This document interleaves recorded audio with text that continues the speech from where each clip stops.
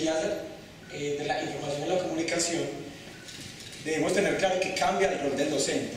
Ya el, el docente no es el único que maneja el conocimiento, ¿sí?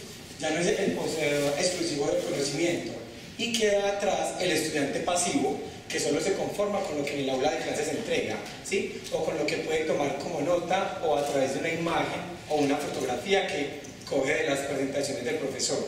Ahora, el papel o el modelo de docente que las TIC obliga a que sea el, profesor es alguien que sea acorde, que tenga la capacidad de modular un mundo de metodologías y nuevas estrategias para poder interaccionar o interactuar con el estudiante. ¿sí? El docente debe tener vocación, como todos ya lo, ya lo sabemos, tener vocación, pero las TIC nos van a permitir mostrar ese tipo de vocación que tenemos. ¿Cómo? Porque nos van a permitir eh, ser un guía, un acompañante y un motivador del estudiante. ¿sí? Pero aún debemos ser comprometidos, creativos, innovadores y debemos estar evolucionando constantemente. Eh, en, en, en psicopedagogía y didáctica. Debe ser un docente que propicie estrategias de innovación pedagógica pertinentes en el proceso de enseñanza-aprendizaje y eso da importancia al aprendizaje autónomo y colaborativo para el estudiante y para el docente, porque debemos recordar que aún siendo docentes seguimos estando en procesos de aprendizaje. ¿sí? Por eso para la Facultad de Ciencias Agrarias el hacer uso de las TIC ha sido algo supremamente interesante. De hecho, acá contamos con la presencia de varios docentes de la facultad que hacen uso de, la, de, los cursos que ya hemos migrado a la plataforma. La profesora Mónica Estrada que nos acompaña, el profesor Diego Piedraita que más adelante veremos un caso aplicado y el profesor em, Álvaro Herrera que también nos acompaña, que ahora, nos, eh, eh, ahora está coordinando un Cometec que creamos en, en, la, en la facultad.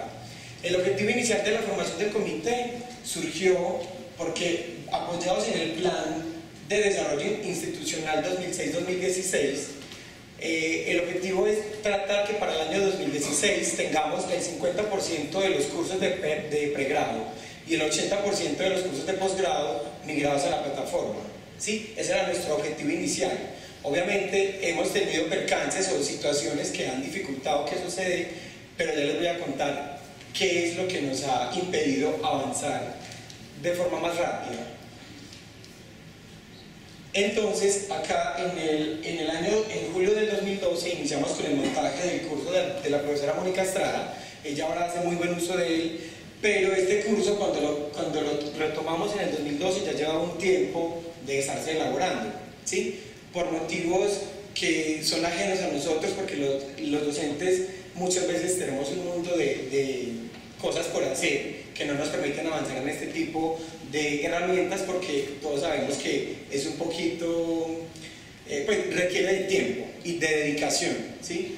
Porque la, la, la, información que se suba a la plataforma debe ser información válida, con derechos de autor y un mundo de cosas que pueden de pronto hacer que sea el proceso más lento.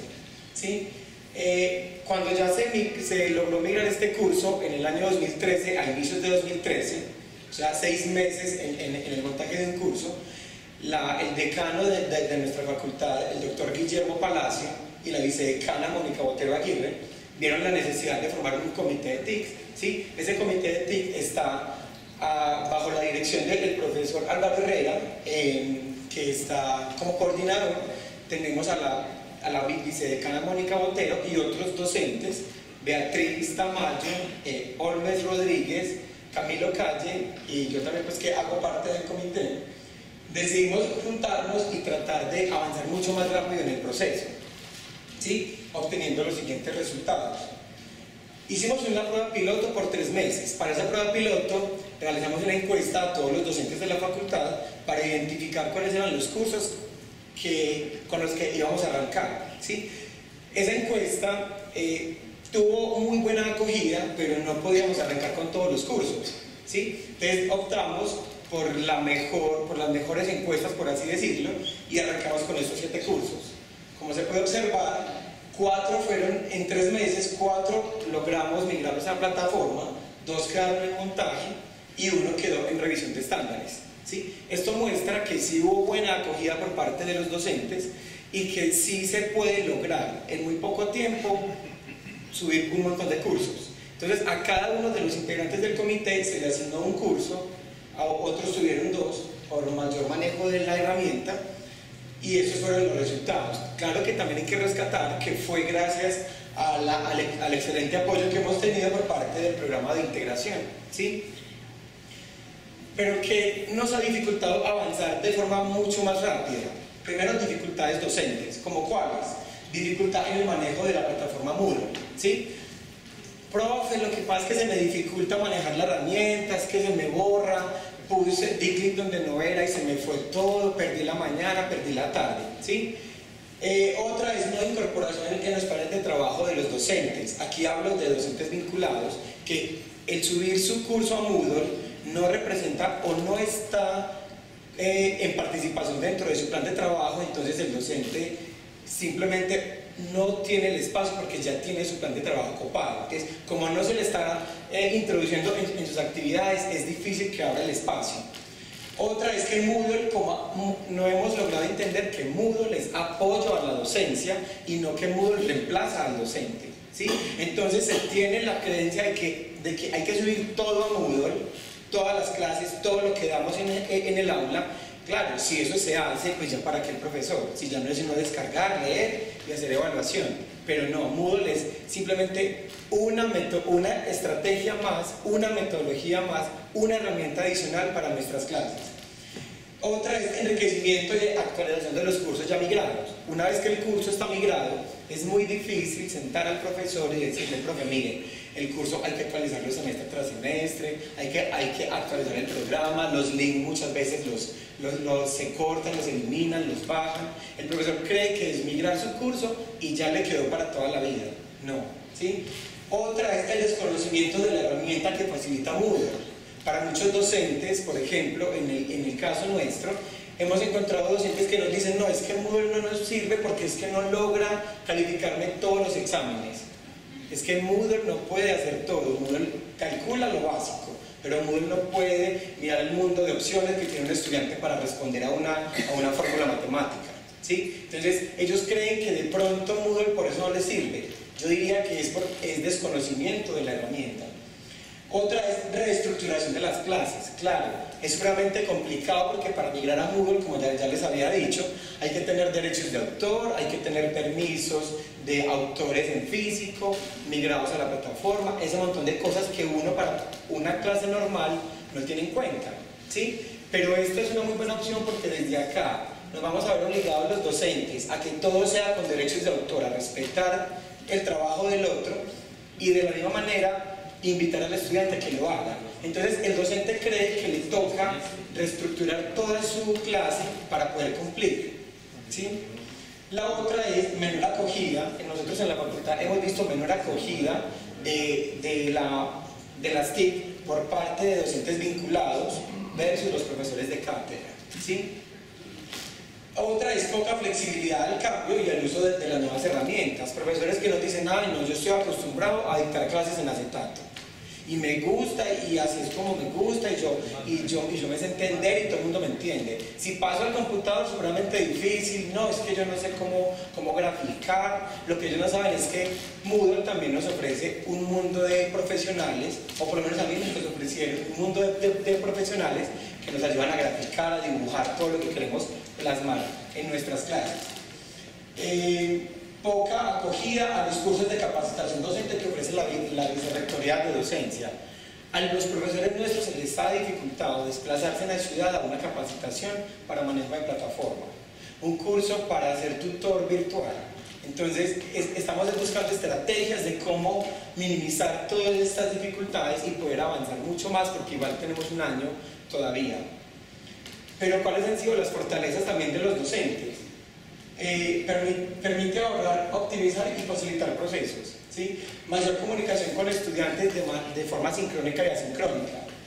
Eh, diversificación del material de apoyo, porque sabemos que ya la red nos ofrece un montón de información de la cual podemos hacer uso y ya no estar solamente acoplados a lo que pusimos en una diapositiva. Facilita el manejo de notas, asistencia y participación. Claro, eso ya no, ya no nos toca hacerlo. Moodle todo nos lo manda y lo podemos descargar en PowerPoint, perdón, en Excel, en un mundo de archivos. Eh, refuerzo del razonamiento crítico y personal del estudiante, porque vamos a obligar a que el estudiante ya sea crítico, que, que, le toque defenderse solo y no que sea el profesor que le esté entregando todo. ¿sí? Otra es potencialización del autoaprendizaje. También hemos tenido algunas dificultades con estudiantes, dificultad en el manejo de la plataforma, pero hemos visto que el estudiante solo quiere entrar a Facebook. En Facebook el estudiante corre y sabe muy bien qué hacer en Moodle se le dificulta, pero es porque Moodle nos obliga a ser un poco más rigurosos y estrictos con, lo que se lee y con, y con, lo que se estudia. Moodle como fuente enriquecedora de la información. El estudiante se nos acostumbró a las diapositivas. El estudiante para un parcial solo quiere leerse las 10 diapositivas de la clase porque sabe que bajo esas 10 diapositivas va a ser evaluado. No se le está obligando a ir más allá, a tener otras, otras herramientas, a leer otra información. ¿sí? Eh, desinterés por las nuevas tecnologías aplicadas a la educación. El estudiante se acostumbró a lo que se le entrega. ¿sí? Confrontación con otros idiomas. Claro, nosotros, por ejemplo, en, nuestras, en nuestros cursos montamos eh, un link de las bases de datos que maneja la Universidad de Antioquia, que las paga para los estudiantes y para todos los docentes.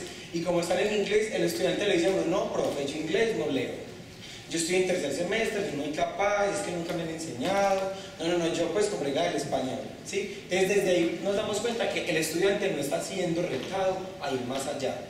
Eh, realización de exámenes, quizzes y talleres, supremamente, para ellos es súper complicado, profe, se me cerró la plataforma, estaba haciendo la ecuación, no me dio la, no me dio la raíz, ellos tienen todas las dificultades habidas por haber. Eh, acceso limitado a la red, sí, nosotros también estamos haciendo uso de los cursos en Oriente y hemos encontrado estudiantes que aún no cuentan con acceso a internet, porque pienso que para Moodle lo ideal es que tenga acceso directo por cable y no wifi, porque si se llega a caer la red se perdió lo que se hizo en Moodle, Moodle lo guarda. Si era un examen, ya quemó el intento, ya no se puede volver a hacer. Entonces, creemos que ha sido una dificultad.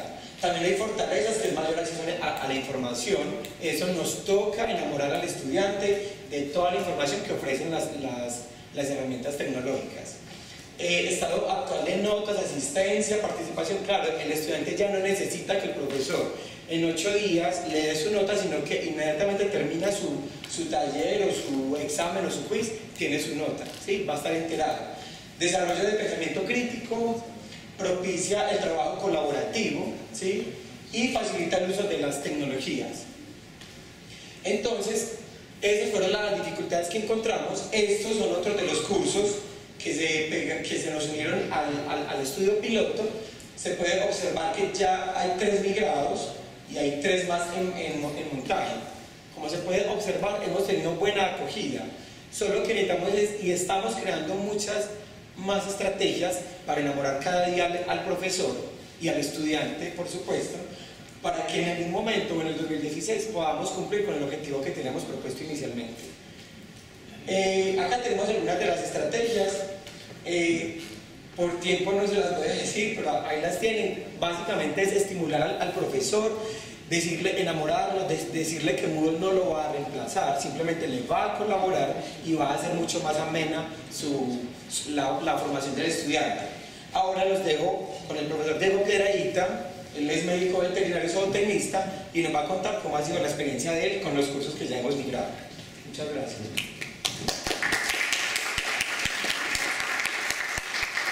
Muchas gracias, buenos días.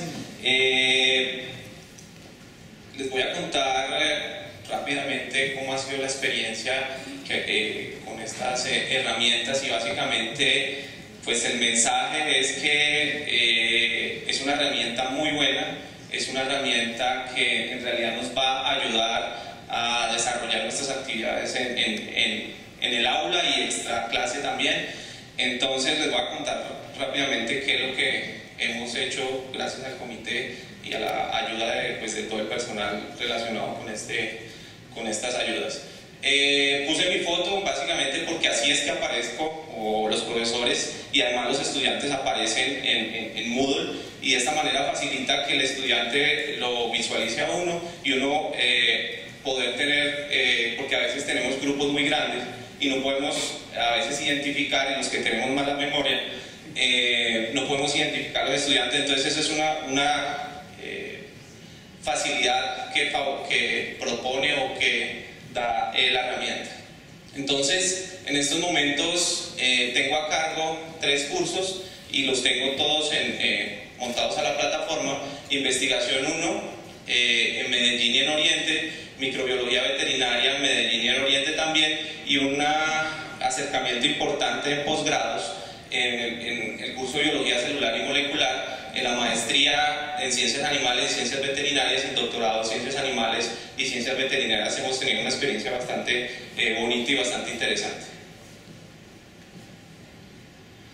Eh, a la fecha eh, se han visto beneficiados cerca de 500, más de 500 estudiantes que han usado a mi manera de ver, exitosamente la plataforma. Obviamente se han tenido algunas dificultades, eh, y algunos eh, eh, impases que han tenido los estudiantes o algunos procesos que no han llegado a feliz término, pero en realidad estos más de 500 estudiantes han manifestado y han aprovechado esta plataforma.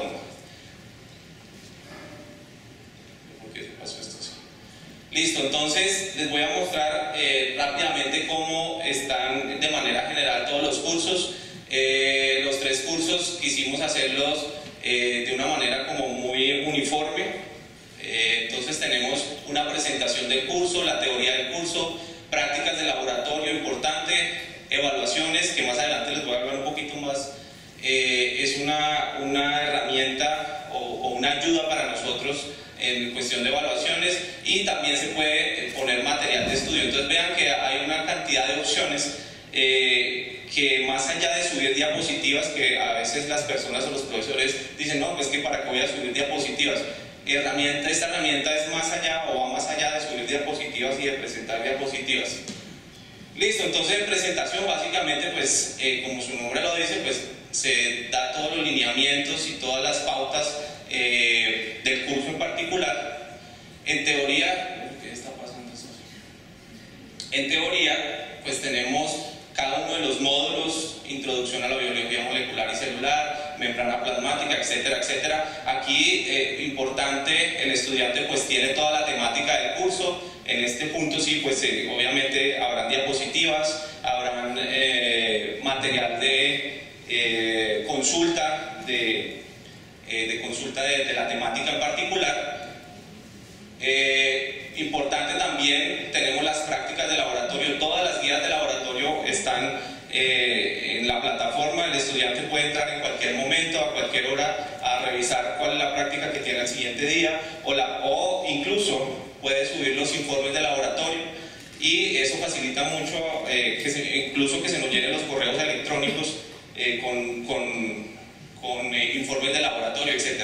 Adicionalmente tenemos unos links donde, por ejemplo, en el curso de biología molecular de, de pregrado, de posgrado, perdón, eh, pueden acceder, por ejemplo, para diseño de algunas cosas eh, relacionadas con el curso como tal, como diseño de primers, análisis de secuencias, etcétera, etcétera. Entonces vean que va más allá de una diapositiva. El material de estudio, entonces aquí de igual manera pues se les presenta el material que se necesita, por ejemplo, artículos de revisión, artículos científicos, donde el estudiante eh, puede acceder.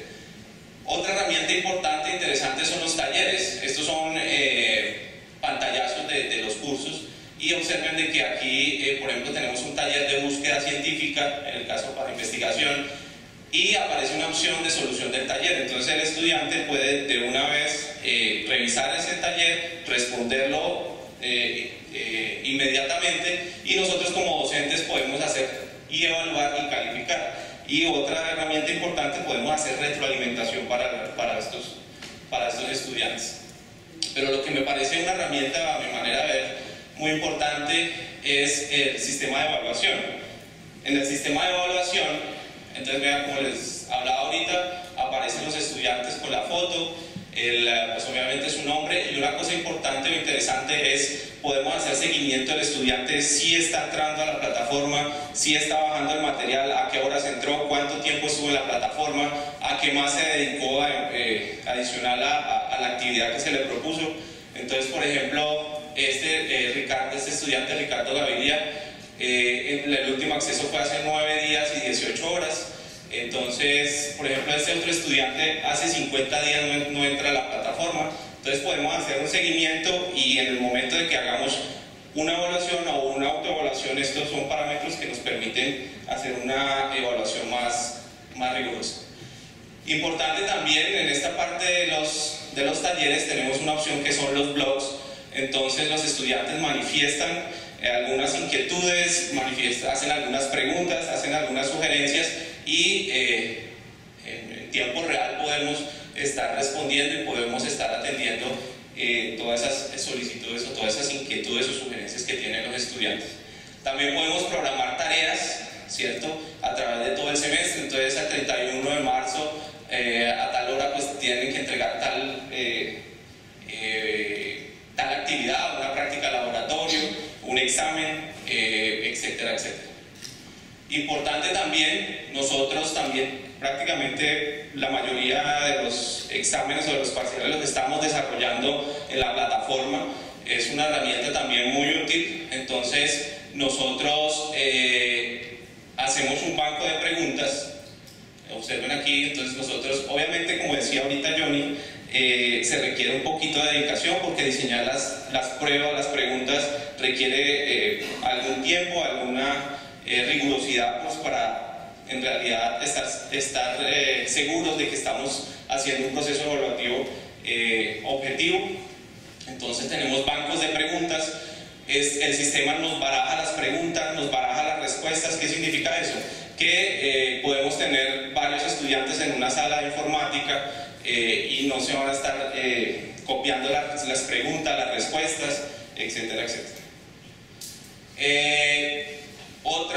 Eh, herramienta importante e interesante es la forma de evaluar. Como decía ahorita Johnny, eh, a veces queremos que Moodle nos responda a los parciales o nos ayude a, desarrollar estas, estos parciales, pero eh, de Moodle o la plataforma nos da varias opciones de selección múltiple, de, con, única, con única respuesta, con múltiple respuesta, verdadero. Eh, el estudiante puede responder eh, textualmente, podemos hacer análisis eh, sobre algunas gráficas. Eso para el comité nos ayuda mucho a, diseñar. ¿ya? A diseñar, bueno. Bueno, y ya para redondear, que no me queda tiempo,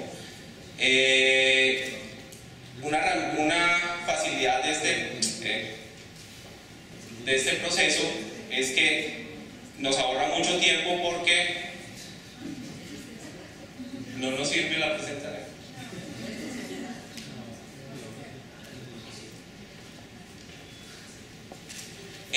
el, el, módulo, la plataforma nos eh, resuelve o nos ayuda a calificar los parciales, nos dice eh, en qué fallaron, podemos hacer retroalimentación y nos permite alimentar nuestra base de datos de notas hasta llegar a una nota, a una nota final.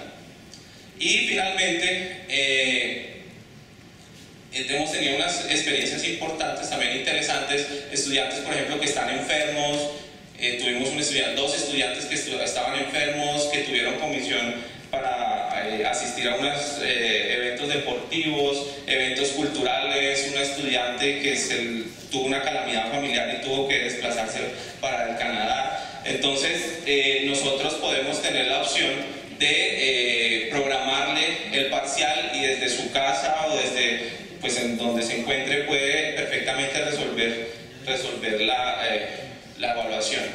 También estamos haciendo la autoevaluación. Ah, no, me apaga. Bueno, también podemos hacer autoevaluación eh, porque es una parte importante de la, de, la, de la parte formativa. Eh, hacemos autoevaluación a partir de Moodle y eh, pues finalmente es para decirles o para motivarlos y para decirles que Moodle es una herramienta que nos por lo menos eh, eh, en nuestros cursos, ha sido una herramienta eh, muy, muy importante que nos ha permitido en realidad podernos acercar a los estudiantes, hacer una evaluación objetiva, etc.